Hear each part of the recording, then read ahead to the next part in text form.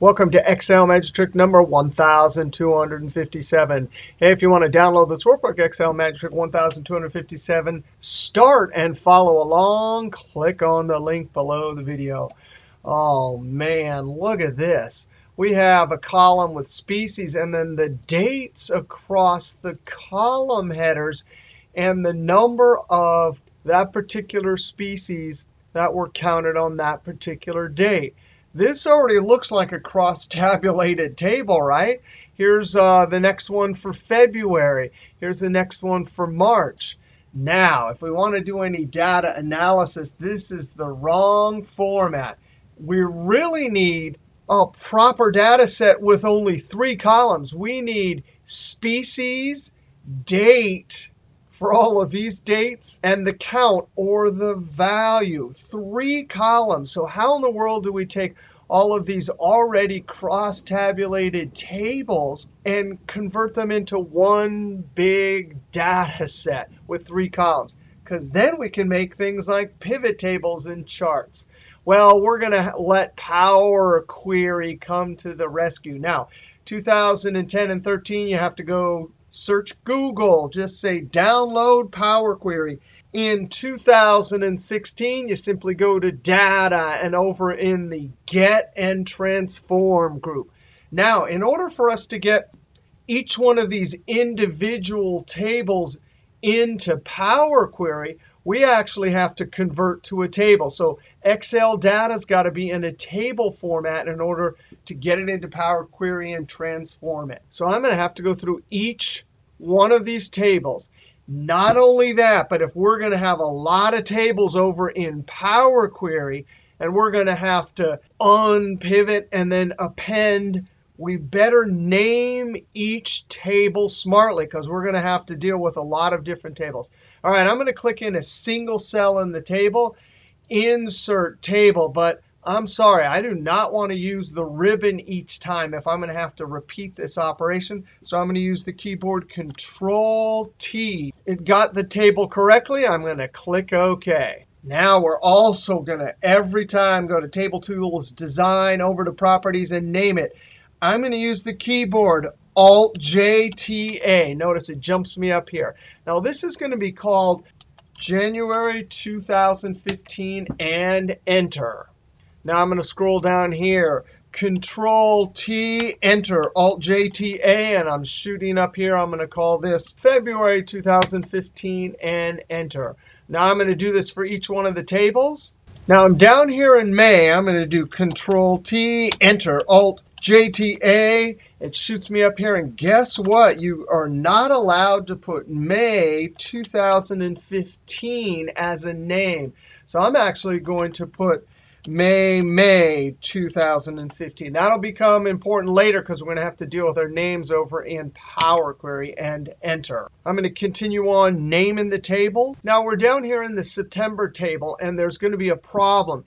This says 1-September. And if you look up in the formula bar, you can see that it actually has the year 2015. So it's a correct date here in Excel. But when I import this into Power Query, this is going to be a field name or column header. And it won't know what year it is. When we convert it to dates, it'll convert to the actual current year. And I'm in 2016. So I'm actually going to fix this over in Excel.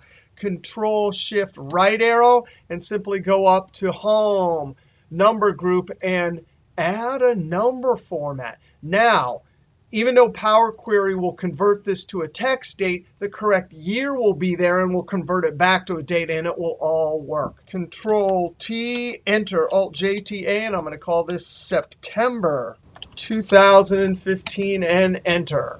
All right, so I've done it for all the tables. October was our last table. Control Home.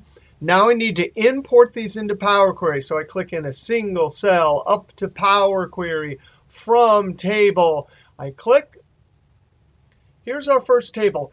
And all we need to do is select all of the date columns. So I'm going to select the first one, use the scroll bar. And before I click on the last one, I'm holding the Shift key. I click on the last one. They're all highlighted. Now I can right-click any one of them and say Unpivot Columns.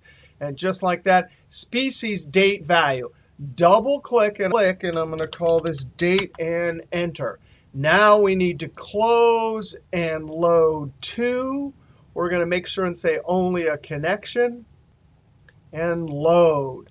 There's our first loaded and converted to a proper table. Now we get our second table. Now, in this case, we're going to try and learn the keyboard. And if you have to do something repetitive like this, this is a horrible keyboard. Watch this. I hit the Alt key, and now I have to go Y1. So Y1 and then YA. Not only that, but on your computer, it'll probably be different depending on the number of ribbon tabs you have. So Y1, YA, oh my heavens.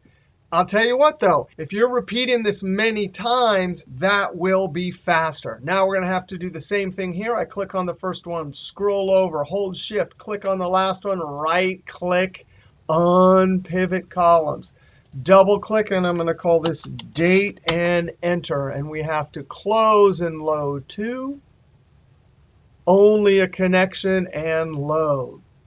There's our first two. I'm going to hit pause and do the rest.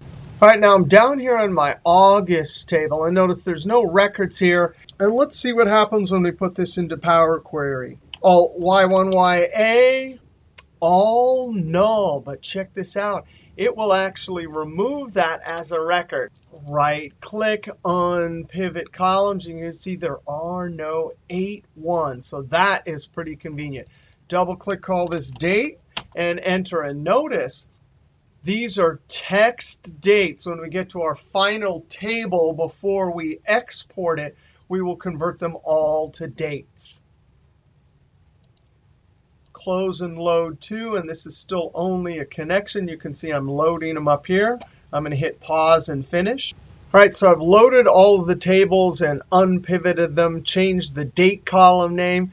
I can see my entire list over here.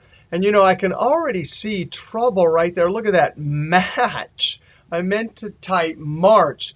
I'm going to come over here to Excel formulas, name manager, or the keyboard control F3. Now I can edit. I can come down here to match 2015 edit. I'm going to backspace R and then OK or enter. Close. I'm going to come over here, right click, edit. And if I say refresh preview, it can't find match, I'm actually going to go up to the advanced editor here.